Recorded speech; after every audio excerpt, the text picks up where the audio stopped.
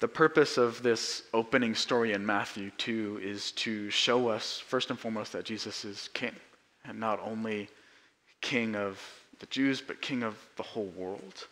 And he's worthy of our worship, and he is inviting those, all, all people, to seek him and know him and worship him as Lord of all. And what Matthew is alluding to is that invitation is going to call for a response from each of us. Because any declaration that there is something greater than us calls for a response of our hearts. Jesus' presence is always going to call for a response from us. Because Jesus' presence is one of kingship, one of lordship. It has implications in how we, how we live our lives, what we make our lives about, what, what we do, and who we are.